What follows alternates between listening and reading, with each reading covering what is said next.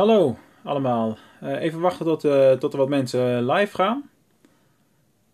In de periscoop van vandaag ga ik iets, iets anders doen, iets nieuws. Dus het is een beetje een, een experiment. We moeten even kijken hoe het gaat en of dit ook iets is wat we vaker zouden kunnen doen op deze manier. ik ga zo dadelijk starten met een, met een podcastopname. de podcastopname naar aanleiding van mijn blog over periscoop. Hallo Lucie, welkom. Ik ben benieuwd naar jouw platform trouwens, waar ik me van de week voor heb ingeschreven. Uh, eventjes terugschakelen. Uh, ik ga straks een podcastopname doen naar aanleiding van een, uh, een eerder blog. Hè. De, een van de dingen die je als online marketeer moet doen en kan doen is het, het cureren van content. Dus hoe zorg je er nou voor dat, dat je jouw kennis over allerlei verschillende kanalen kunt uitdragen. En dat je niet continu nieuwe dingen hoeft te bedenken. Dus eh, op het moment dat je een blog schrijft, kun je er ook een podcast van maken. Je kunt er een keer een periscope over doen, een video, andere video over maken. Uh, enzovoort. Dus er zijn veel mogelijkheden om, uh, om die interactiviteit te realiseren. dus ik ga zo dadelijk de, de podcastopname starten. dat betekent dat ik tijdens het opnemen zelf niet op het schermpje van de telefoon kan kijken. dus jullie kunnen wel luisteren naar mij hoe ik het verhaal doe. Uh, maar de interactiviteit, dus mochten er vragen zijn en dat soort dingen, dan kan dat uh, na afloop van, uh, van de opname. dus we gaan nu van start. Dus ik ga openen even op de laptop de, de opname tool, zou ik maar zeggen. Nou, de tool loopt nu inmiddels, dus dan kan ik straks weer gaan bewerken. En nog even een slokje water en dan begint de opname.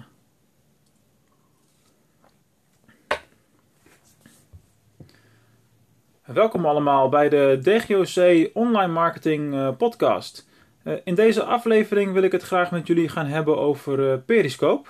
In het bijzonder Periscope als online marketing tool. Periscope is een, een tool die nog maar, nog maar net op de markt is, dus vrij nieuw.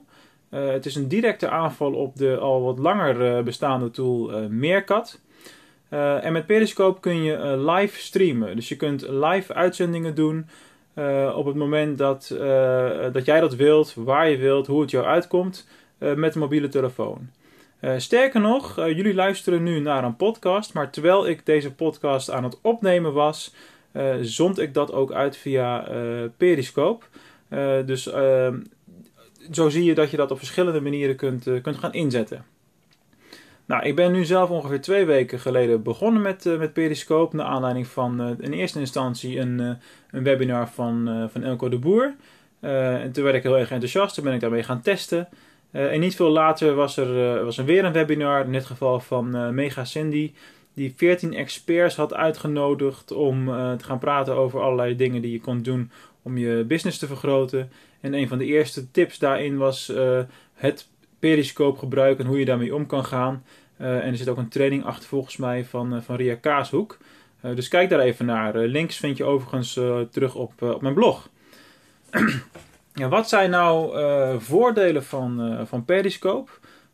laten we daar eventjes doorheen lopen. Wat voor- en wat nadelen. in eerste instantie natuurlijk, Periscope is een heel spontane tool. Dus je kunt direct uitzenden wanneer, wanneer jij dat wilt dus ben je aan het wandelen met de hond of ben je ergens onderweg. Uh, of heb je een paar verloren minuten die je nuttig wil, uh, wil besteden. Nou, op dat moment zou je dus uh, online kunnen gaan en kun je jouw, jouw ding doen. een tweede voordeel is dat Periscope op dit moment extreem low budget is. Dus echt een low budget marketing vorm. videomarketing wordt natuurlijk altijd gezien als een, als een redelijk dure manier van marketingbedrijven.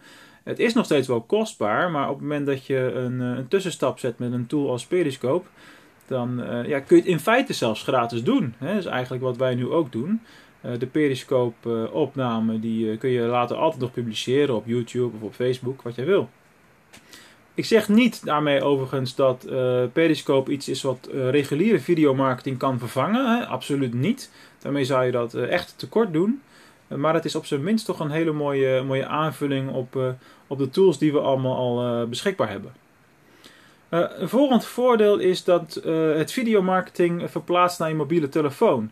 Het is natuurlijk echt super dat je onderweg kan zijn en in één klap alles kunt regelen. Dus je gaat vanaf je telefoon online. Je, je publiceert, je doet je uitzending, je hebt uh, al dan niet interactie met mensen afhankelijk van hoe druk het is en hoeveel, uh, hoeveel mensen er meekijken. Uh, voor de mensen die op Periscope nu meekijken trouwens, vergeet niet om, om hartjes te geven. Hè? Dat is hartstikke heel belangrijk om ervoor te zorgen dat er weer meer mensen komen. Um, ja, en op, doordat je het op de mobiele telefoon kan doen, is het heel erg flexibel. Dus ik loop bijvoorbeeld wel eens naar de sportschool.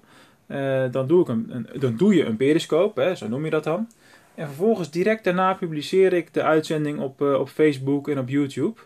Uh, en dan kunnen mensen dat ook weer later terugkijken. Dus dat zijn de, tot nu toe in mijn ervaring de grootste voordelen. Je hebt weer een nieuwe manier om publiek op te bouwen, om aan branding te doen. Het is goedkoop, het kan altijd en het kan mobiel. En wat zijn op dit moment nog echt nadelen van Periscope? Het is een enorm, enorme jonge tool. Uh, er is nog geen uh, profielpagina buiten de app beschikbaar. Dus mensen kunnen kijken op, uh, op het web en via de app. Dus in, op dit moment is het zo dat er altijd meer mensen via het web kijken dan vanuit de app. Althans, bij mij is dat het geval. wellicht komt dat omdat ik veel Twitter-volgers heb die nog geen Periscope-app hebben geïnstalleerd. dus die kijken op die manier mee. Kunnen volgens mij ook niet interactief deelnemen. Maar goed, ik kan mensen dus nu niet verwijzen naar een profielpagina. Dus ik kan niet zeggen, nou, klik uh, hier en hier op de link en volg mij op Periscope. Nee, ik moet er echt een verhaaltje omheen gaan bouwen. Een ander nadeel van Periscope, voor zover je dat een nadeel kunt, uh, kunt noemen, is dat de app per definitie ontworpen is om uitzendingen staand te doen. Dus je hebt je telefoon rechtop, dus dat is ook het beeldformaat. Op het moment dat je live meekijkt met iemand, is dat natuurlijk prima. Er is helemaal niks uh, mis mee, want je hebt gewoon fullscreen beeld op dat moment. Uh, echter, als je achteraf je video's gaat publiceren op Facebook video en op YouTube, dan krijg je natuurlijk filmpjes uh, in een kader waar normaal 16:9 formaat gebruikelijk is. En dat ziet er gewoon niet uit. dus als je YouTube op een PC of laptop gaat bekijken, dan krijg je dat beeldformaat. En dan heb je heel erg veel zwartruimte. Nou, daar zijn, dat is wel echt een nadeel, maar er zijn wel oplossingen voor. kijk bijvoorbeeld op mijn blog voor een, een screenshot van ook weer Ria Kaashoek, die daar een een mooie oplossing voor heeft bedacht door die zwarte ruimte op te vullen met een mooie achtergrond en een oproep om haar te volgen. Dat is heel erg slim. Oké, dus nu hebben we wat voordelen besproken van Periscope, wat, wat nadelen besproken.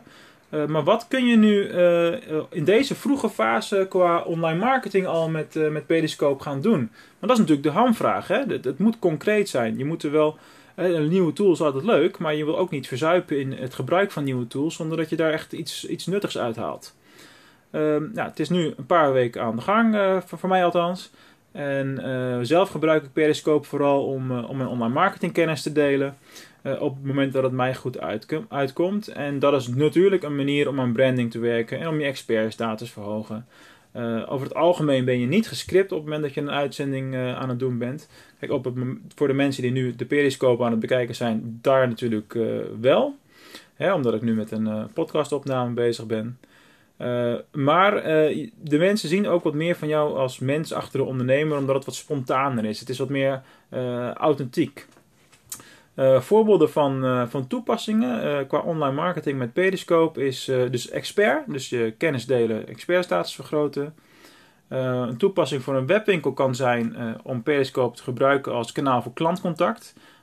op mijn blog is ook een link naar de praktijkcase van, van Simio, die dat al gedaan heeft. Voor artiesten is het helemaal super. Er zijn allerlei uitzendingen van artiesten die backstage beelden delen. En je kunt allerlei concerten meekijken tegenwoordig hierdoor. Uh, voor retail, je kunt aanbiedingen communiceren die bijvoorbeeld alleen tijdens een uitzending gelden. horeca, een kijkje in de keuken. Wat wordt er nu zoal gemaakt? Ja, zo kun je tal van andere toepassingen nog gaan, gaan bedenken. tot slot, natuurlijk een, een korte oproep om, om mij ook op Periscope te gaan volgen.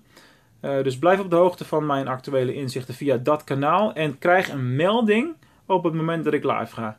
Nou, eigenlijk hoef je maar twee dingen te doen om dat voor elkaar te krijgen. Uh, ten eerste voor de podcastluisteraars, uh, download Periscope, de app op je mobiele telefoon. Nu verkrijgbaar voor zowel Android als, als iPhone. En zoek even naar @dgocnl om mij, om mij te volgen. Dan tot slot nog, toch nog een allerlaatste tip. Op LinkedIn is er inmiddels een Periscope Business Club opgericht. En uh, ik raad je aan om die op te zoeken en je daarbij bij aan te sluiten. Zodat we met elkaar de kennis kunnen gaan delen over deze mooie tool. En daar ook weer het maximale uit gaan halen. En tot zover deze podcastaflevering. En graag tot de volgende keer. Nou, voor de Periscope-kijkers, ik heb nu de opname inmiddels afgesloten.